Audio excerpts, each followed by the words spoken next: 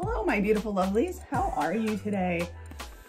Well, I hope. It is beautiful here in Vermont. It's freezing cold. Literally, I think yesterday it was nine degrees. Yes, a whopping nine degrees. I was cold. anyway, hello and welcome. If you are new to the channel, my name is Shamanism, otherwise known as Emily. Welcome. I'm an author, an entrepreneur, a gardener, and I'm here to help you grow anything and everything, including yourself. Without further ado, I think we should jump into the topic of today's video because in my opinion, it's something just so important for honestly everyone to, I think, implement in their life to have a more calm, peaceful, and happy life in the long run, to be honest with you. And this is just one simple hack that I learned that I've been using lately, which is extremely powerful. And thus I thought, what can I do to help my audience? I can pass this tip along to you guys. Have you ever had it where you're having a good day, you're having a darn tootin' good day, and then, hmm, let's say you see something. Let me tell you something first of all. Did you know that our eyes process something like 11, I'm not sure if it's billion or million, but either way, it's something crazy like 11 million or 11 billion pieces of information get processed by our eyes. Like in a very short span of time. I don't know the exact figure and I don't want to mess it up. So just know that your eyes process like 11 million, 11 billion pieces of information in like a few seconds. That is, that is one sign that we all need to calm our mind. So I'm sure you guys have all come across this. You know, you'll be having a great day and you see something and then your day becomes a bad day, for instance, or or on the opposite side, maybe you hear a song and then all of a sudden you're having a great day. So the subject of this video is triggers, positive and negative triggers. Now, you might be asking yourself, why am I talking about triggers? Well, for two reasons. How many reasons? Those of you who are in FLC will get that little inside joke. How many reasons? Or for that matter, any of our events, actually. Anyway, so I'm sure you've all had it both on positive and negative sides that triggers happen. And triggers are basically, they're almost like vestigial organs, but for from your mind. if you guys aren't familiar, if you're not as like science nerdy as I sometimes am, vestigial organs means that it's basically things that are left over from the process of evolution. So mm, for us, I believe our tailbones are still technically vestigial because like we don't really need to have that little tailbone. We, if you look at a human skeleton, you'll see on these models that down at the bottom on our tailbone, we actually do still have a little triangular tailbone. Um, that's why if you, well, in my case, I used to ride horses. So if you ever got bucked off a horse or you ever fell off of a horse in a particular way, you probably landed on your bum. And that poor tailbone, that's about the only time you realize you have a tailbone so much is when you fall onto it. And boy, does that hurt. But the tailbone itself doesn't actually have any purpose anymore. I don't think anyway. I'm pretty sure that it's vestigial. So anyway, things like that happen over the process of evolution.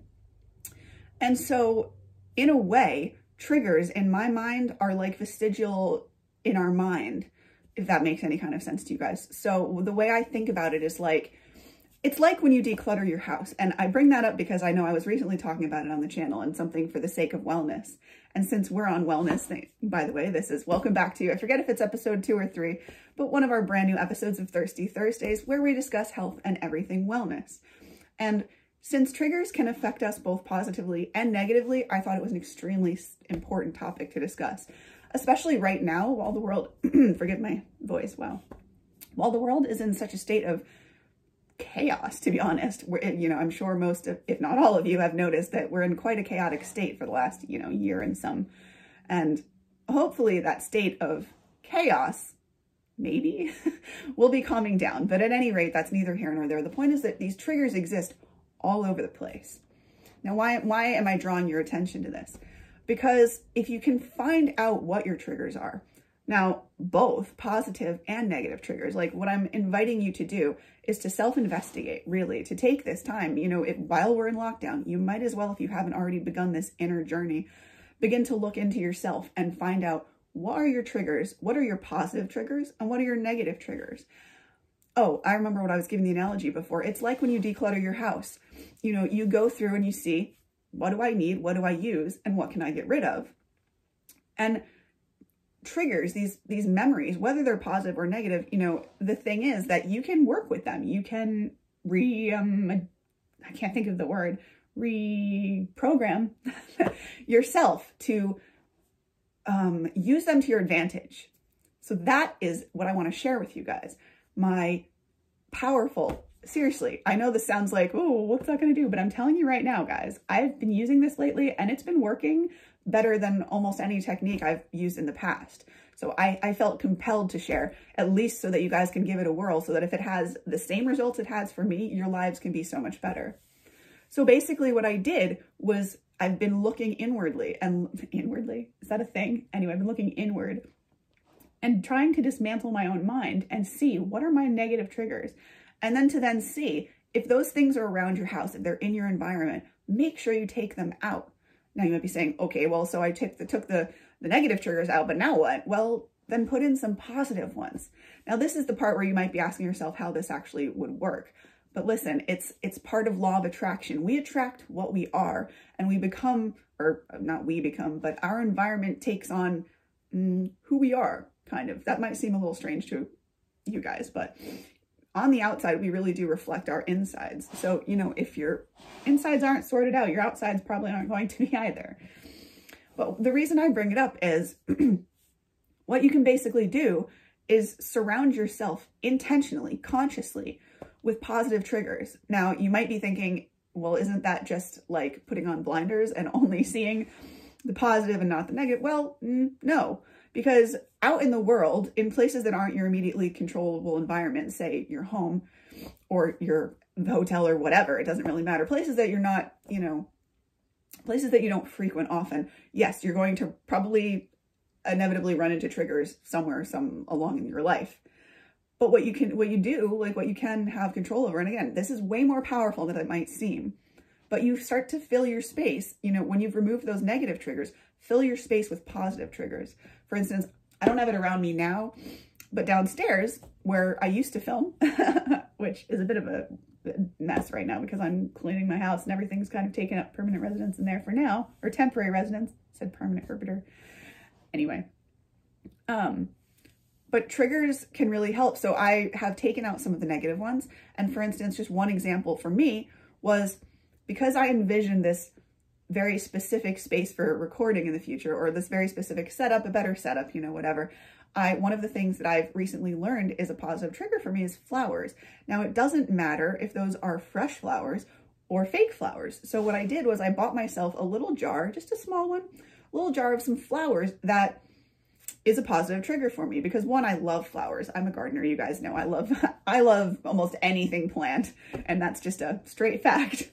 So I realized that surrounding myself with flowers, for instance, makes me a happier because I just mm, I don't know what it is, honestly, guys. I couldn't put it in one way for you, but I love, for instance, I have roses downstairs right now.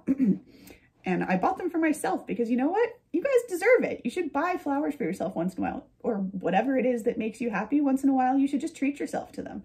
And flowers, guys, are something that guys and girls and anybody in between, you know, you guys have the right and and you should buy yourself flowers from time to time. You're worth it. You have to, we, we all should start treating ourselves like royalty because the fact of the matter is that we only live one lifetime. I think for the most part anyway. Most people aren't so lucky that they get to come back to this life and experience all these experiences again. So I want to encourage you to take charge of your life, to take your life by the horns, to really not be afraid of that inner work. I know it can be intimidating because quite frankly, looking inward causes you to see your not so great aspects. And that can kind of suck to take an honest inventory of who you are.